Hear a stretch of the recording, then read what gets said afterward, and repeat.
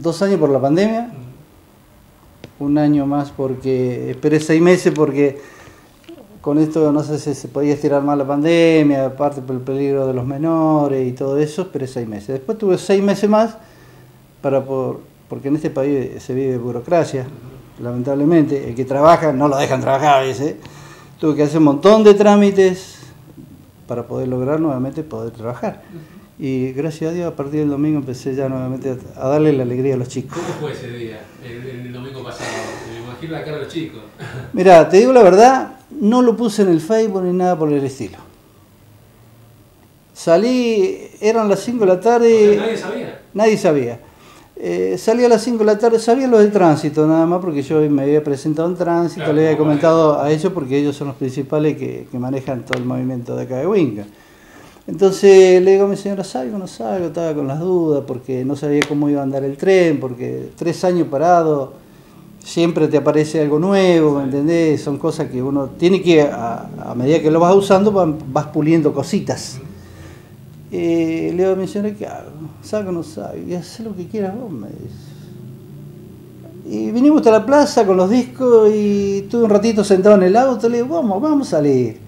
Puse los discos, me fui a buscar el tren y la verdad que fue una satisfacción muy grande porque cuando empecé a transitar ya de, la esquina de mi casa para allá eran todos aplausos, cornetazos de la gente, qué sé yo, una alegría tremenda. Una emoción también. Oh, para mí sí, fue. Y después una emoción al llegar a la plaza, que todos los chicos corrían, alegre, ¿viste? El trencito, el trencito. Y para mí... aguantaste tres años, también, porque inclusive nos decía fuera de cámara que inclusive te lo quisieron comprar. Eh, no accediste a eso. Tuve la oportunidad de venderlo en febrero, como te dije.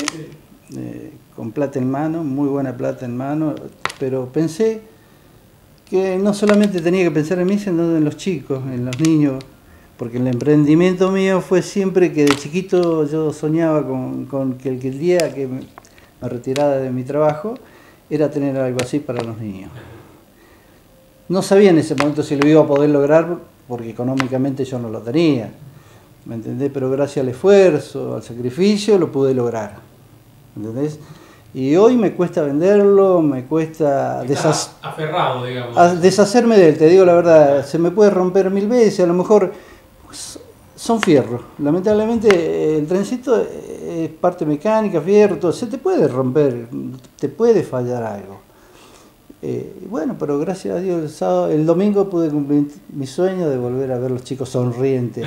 Sí, fue, la alegría para mí más grande es ver a un niño sonriendo. Y un niño que está esperando, ¿no? ah, no, solamente, no solamente los niños, los grandes. Yo te digo la verdad, si yo pudiera eh, tener un trencito con más capacidad y con más fuerza, porque lamentablemente es un tren pequeño, no es un tren que estamos hablando de grandes dimensiones. Hay gente grande que quiere subir y hay veces que no lo puedo llevar, ¿me entendés? Como si yo llevo uno en cada vagón de los grandes, porque más de eso no puedo llevar. Y hay gente que a lo mejor queda como enojada, pero no es porque yo quiera, sino que, no lo tira. ¿Entendés lo que te quiero decir? Y, bueno, gracias a la nota de ustedes, que se lo agradezco muchísimo, a, vos, a vos también, eh, me han llamado de todos lados, ya para, ya tengo como cuatro o cinco lugares que tengo definir para ir a trabajar para el Día del Niño. Claro, porque no solamente Huinca, sino que no, no, no, no, sí, yo eh, ahora tengo que me gustaría seguir trabajando en Winca porque estoy cómodo acá, la gente me apoya mucho, ¿me entendés?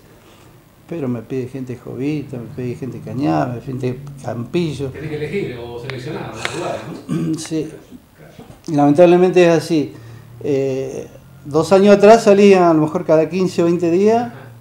Eh, a lo mejor me iba a Jovita un domingo, a lo mejor después me iba a Relicó, los lugares que mejores me han tratado son Relicó, Jovito, toda la zona me ha tratado bien, pero te quiero que, que donde más he estado, a veces que he estado sábado y domingo.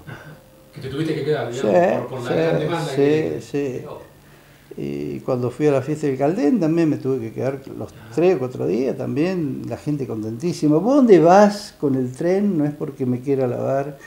La alegría de los chicos es tremenda. Vos ves yo quiero ver la, cara de los chicos que ponen.